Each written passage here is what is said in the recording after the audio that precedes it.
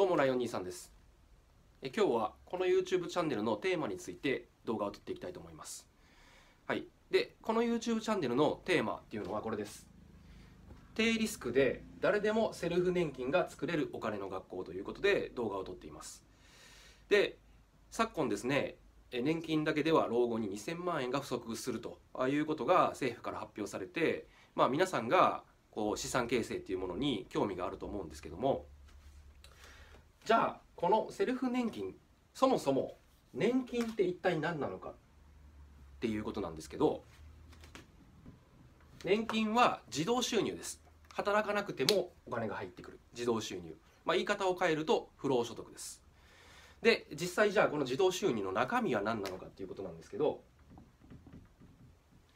株や不動産。まあ、他にもビジネスであったりとか債券であったりとか、まあ、他にもあるんですけど、まあ、大きくはこの2つですね。株不動産。若い時は体力があるから働けます。でお金現金っていうのを稼ぎます。この現金を株不動産っていう資産に変えると。そうするとこれが大きく育っていって将来はこの株不動産っていう資産が働いてくれるからこいつがキャッシュ現金を生み出してくれるからあなたは働かなくてもお金が入ってくる。こういう状態ができると。でこういったセルフ年金。国からの年金だけでは足りないんで皆さん資産運用して、えー、自分で作っていきましょうということをこのチャンネルでやっています。はい。じゃあそもそもあと我々は何年生きるかっていうところを考えていきたいと思います。そうするとね、えー、現在今日私あの40歳の40歳じゃないですね39歳の誕生日を迎えたんですけどまあおおむね40歳とすると、まあ、これファイナンシャルプランナーの方からデータでいただいたんですけど平均余命っていうのがあるんですけど40歳現時点の、あのー、40歳の平均余命残りの寿命ですねっていうのは平均約41.96歳年なんですよ。96年。だ大体あと40年。80歳ぐらいまで生きると。じゃあ80歳になった時の平均余命。が8.92年。あれ？80歳でもう寿命終わっちゃうかなと思ったらあと10年近く生きちゃうと。じゃあ90歳になった時平均余命これ90歳になった時生きてたと仮定した時ですよ。生きてた時は4.28年と。えー、いうことで90歳になってもあまだ死なないなみたいな。あと5年ぐらい生きるみたいな。っていうことで寿命っていうのは年々伸びていってるんです。人生100年時代なんていうふうに言われますからね。仮に2007年生まれの人っていうのは、えー、寿命が107歳まで生きるというふうに言われています。でこれは日本だけじゃなくて、まあ、日本が一番寿命伸びていってるんですけど先進国はどこも伸びていってると、まあ、アメリカとかカナダとかオーストラリアとか他の国も2007年生まれの人は1023歳ぐらいまで生きる、まあ、こういうデータが出ています。つまりどういうことを意味してるかっていうと人生100年時代なんで65歳に定年してから35年分ぐらいの老後資金を準備しないといけない。こういうことを言っています。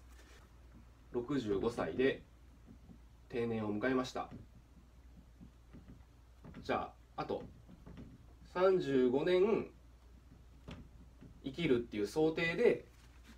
まあ、老後資金っていうのをあの形成していかないとダメだと。いうことでじゃあ老後に年金はどれぐらいもらえるのかっていうのをざっくりこれファイナンシャルプランナーの人に計算してもらったんですけど国民年金と厚生年金がありますよね。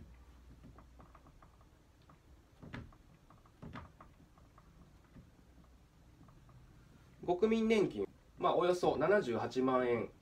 かける480分のえー、加入月数。何ヶ月加入したか。でマックスは480ヶ月。だからマックスもらえる額が国民年金は年間78万円。これ以上はもらえないと。これ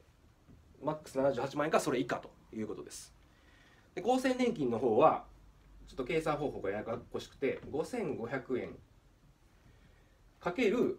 38歳児。まあ今私39歳なんですけど38歳児の年収の100万円部分の頭の数。だから500万円の人は5600万円の人は6300万円の人は3っていうふうに数字を入れるんですけど仮にじゃあ500万円として5っていう数字を入れます。かけることの加入年数。マックスこれじゃあ35年入ってたとしましょう。でこれで計算するとまあ大体90何万円とかまあ分かりやすいように便宜上100万円とします。じゃ大体38歳時に年収500万円だった人が国民年金と厚生年金をマックス35年間、えー、きっちり積み立てたと、えー、いう人でもらえる、えー、1年間にもらえる、えー、年金が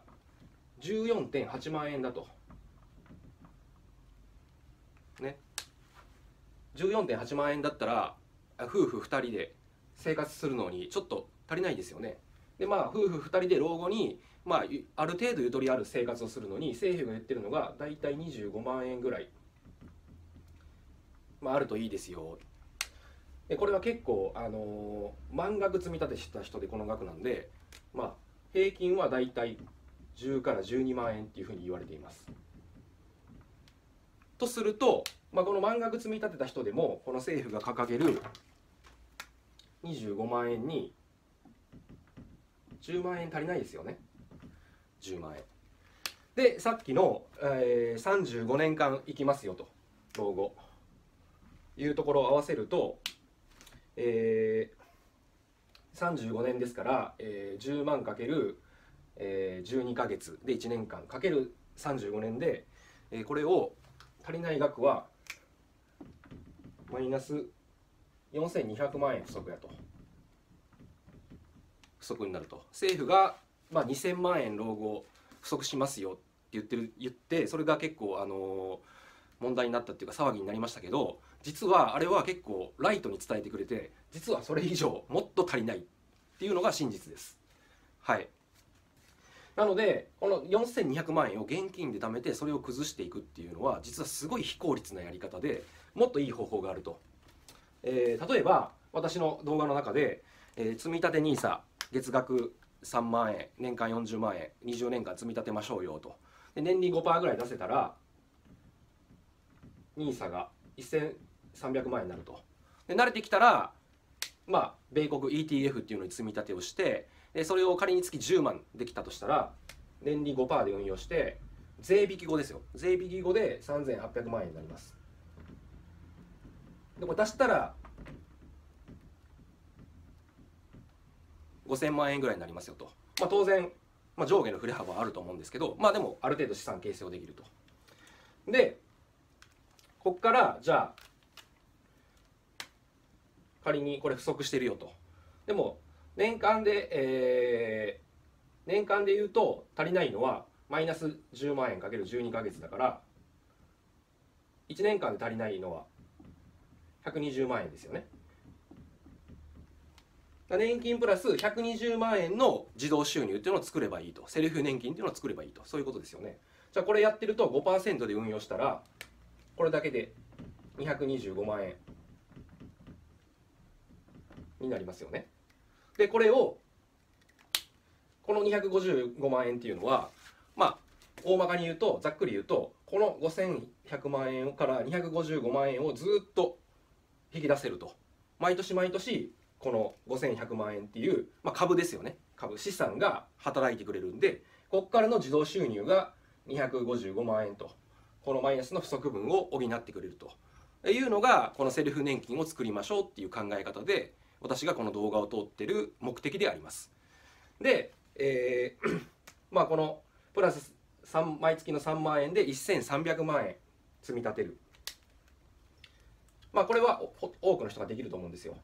だけどプラス10万円積み立ててこれをやっていくっていうのはなかなか今の給料から10万円をねあの抑えて、えー、節約してやるっていうのは難しいと思うんで、まあ、新たな自動収入ですね。ビジネスとかを始めて新たな自動収入を作っていきましょうと。でその方法とかお手伝いっていうのをできればなと思います。はい。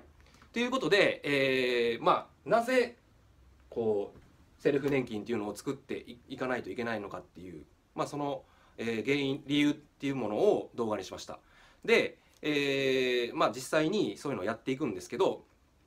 まあ、私は動画の中でドルコスト平均法であるとか、えー、投資の種銭の作り方とかそういう動画を撮っていったんですけどそもそも投資の前にお金とはどういうことなのかお金にはどういう収入があるのかお金の真実っていうものを、まあ、次回以降で動画を撮っていきたいと思います。で我々が今まで、まあ、親であるとかで義務教育でお金とはこういうもんですよ貯金がいいですよとか、えー、いろいろ学んできたと思うんですけどこれから私が皆さんに伝えるおお金の真実っていうのは今まで学んできたことと全く逆のことを言ってますからだから一度今までの常識っていうものを一旦リセットしてもらってで聞いてもらったらいいかと思います。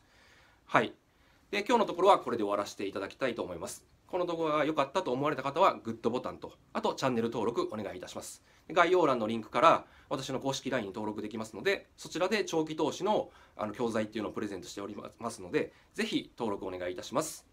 では今回の動画はこれで終わらせていただきます。最後までご視聴ありがとうございました。